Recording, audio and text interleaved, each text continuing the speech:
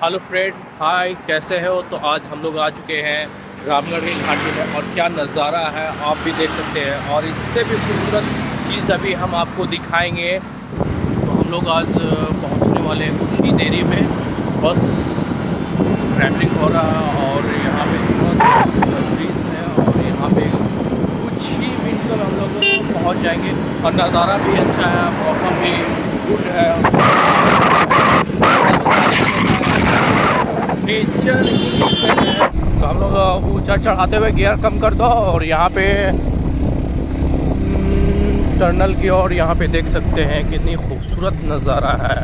और यहाँ पे, और यहाँ पे हम लोग जा रहे बहुत ही खतरनाक रोड है और यहाँ पे हम दिखाएँगे। हेलो गाइस, कैसे हैं? तो मैं आप लोग को रामगढ़ के एक टर्नल में लेके जाऊँगा, जो कि आप दिन में भी आएँगे तो भयानक डर जाएँगे। तो आप अकेले आने की कोशिश ना करें। मेरे साथ एक दो आदमी भी हैं। उसके साथ हम आए हुए हैं। इसलिए हिम्मत करके हम टर्नल में जाएँगे अभी हम। तो यहाँ पे आपको कैमरामैन थोड़ा और करीब आइए और शूट कीजिए। देखिए, मेरा फेस थोड़ा गोरा आना चाहिए। सनलाइट पड़ रहा है और मैं टर्नल दिखाऊँगा क्या नज़ारा है। आप संडे का अगर छुट्टी लेके इस जगह पे आप इंजॉयमेंट और एडवेंचर करना चाहते हैं तो मैं उम्मीद करता हूँ आप लोग आइए और बहुत ही खूबसूरत नज़ारा है।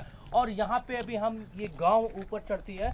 ये गाँव में भी हम लोग जाएँगे। पहले हम लोग टर्नल की ओर जाएँगे, जो कि बहुत ही ड्राउना है। यकीन मानिए ये मैं बोल रहा हूँ तो बिलीव नहीं कीजिएगा। बस एक्चुअल में अगर वीडियो आप देखेगा तो आप हो सकता है डर सकते हैं या हार्ट अटैक आ सकता है, वो आपकी गारंटी है। बट मैं वीडियो आगे देखने से ही कितना ड्रॉना लग रहा है। और रोड बहुत ही ख़राब है और मैं टर्नल की ओर जाते हुए और यहाँ पे टनल दिख गया है और देखिए कितना है। दूर से ही ख़तरनाक ये टनल दिख रहा है। नज़दीक से भी आपको दिखाएँगे। बहुत बुरा रोड ख़राब है और रोड का सामना तो करना ही पड़ेगा। कितना अंधेरा है। तो उम्मीद करते हैं, क्योंकि हम यहाँ पे अकेले नहीं आए हैं, बहुत सारे लोग हैं और यहाँ पे बहुत ही ड्रोना है। अगर दिन में आएँगे तो एक्चुअल आपको डर बहुत ज़्यादा लगेगा।